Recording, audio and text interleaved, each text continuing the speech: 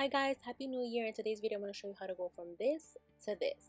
I'm going to go ahead and show you guys what products I use to get your nails like this. So we're going to start off with the nail polish remover. This one is a strengthening one. You can get this one from Walgreens.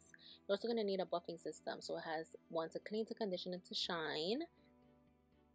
I'm also going to show you a nail filer, just normal. You don't need a buffing system. It's optional. I'm showing you guys now a cuticle pusher. It has a pointer and end to help you push back your cuticles. I am also showing you now the Tweezerman cuticle cutter. This one is excellent. It is sharp. It helps you cut your cuticles perfectly to the team. Now you also want a cream. I suggest using the Sol de Janeiro Brazilian Bubble Cream. It is a body cream but it's super smooth and hydrates your skin so I really recommend that one. Now for today I am using the Essie Nail Polish in Skinny Dip top of Skinny Dip, I'm going to go ahead and be using the Color Stay Gel Envy from Revlon in 105 Bet on Love. And to go ahead and just set my nails with the top coat, I'm using the Essie Top Coat in 00. This one is so amazing. Highly recommend that it sets your nails like it is gel polish, but it is not. Now I'm going to go ahead and start off by just cutting the cuticles off my nails. You want to go ahead and be careful with this because you can nip yourself and you know you don't want to have any bacteria or anything like that. And as you can see, I go ahead and just push back my cuticles while I'm cutting them. I go and do this nail by nail. And then I just continue to go ahead and do this process by cutting, pushing back the cuticle, and so on and so forth. Once I am done, I go ahead and use my buffing system. This one is from Face Value. It is so inexpensive. I go ahead and show you that you can also just use a filer. It is optional to go ahead and buff your nails, but I do feel like you just have a better base for your nails when you're going ahead and painting them because they are smoother but here I am just filing my nails and here go ahead and just do the first step which is the cleaning method. So it just removes any bumps or ridges that you may have on your nails. So I really like this system Now is the conditioning part and it just helps your nails just be well nourished underneath your nail polish. It's very helpful especially if you want your nails to stay intact and not break. Now we're going to go ahead into the shine which is the last process. It just helps just have your nails a shiny coat before you polish them. And I'm also going to go ahead and put on some cream. Like I said I do like the Sol de Janeiro one. It smells so good and it keeps your hands nice and moisturized. But before you go ahead and paint them you do want to go ahead and remove the layer of cream off your nail base so that way the polish sticks. And here I am just painting my nails with skinny dip.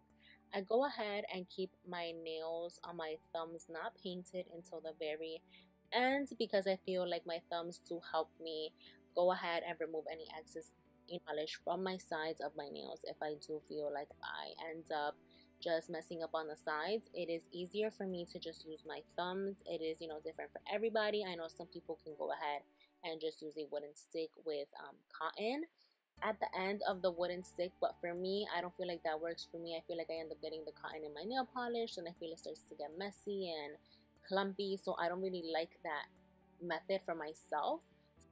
So now as you can see I am going ahead and just doing three coats of the skinny dip Essie nail polish. The reason why I do three coats and not just one is because this color tends to be more on the lighter side so it's not as opaque as other colors so it is almost like if it was see-through but not.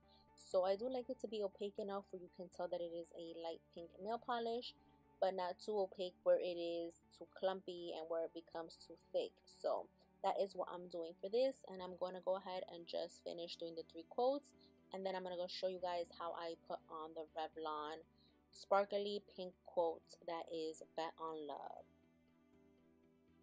And also to let you guys know the Essie nail polish and skinny dip you can go ahead and pick it up on Ulta and it is nine dollars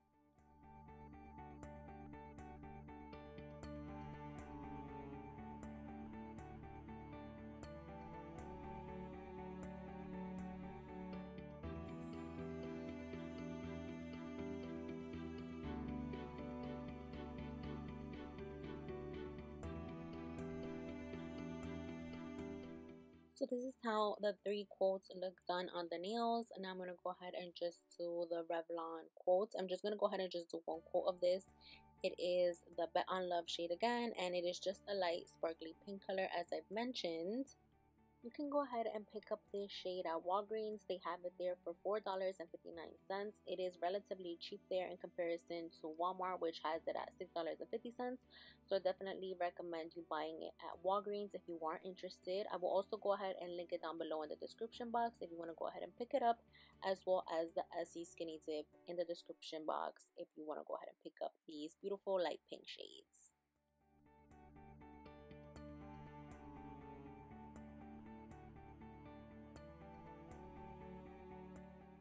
I'm going to go ahead and use the Essie Gel Couture top coat. This is one of the best top coats I've ever used. I've been using this top coat for about four years now and it completely changed my nail polish game. It literally sets in about 60 seconds so you can go ahead and do your nails and be out the door. It gives your nails the appearance that it is gel polish but it is not. It's just regular polish that has gel shine to it.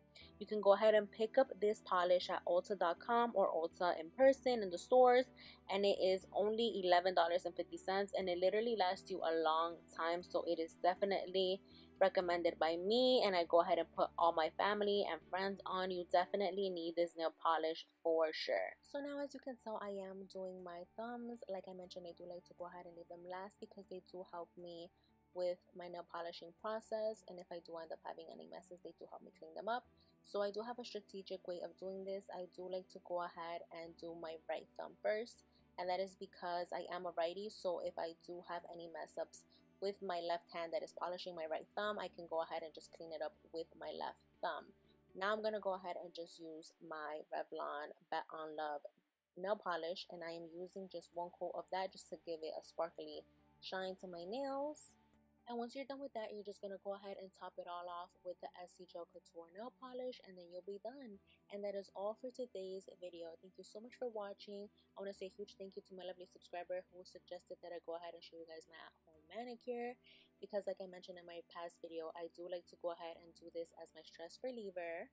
Thank you once again and make sure that you like, comment, share, and subscribe. And I will see you all in my next video. Besitos!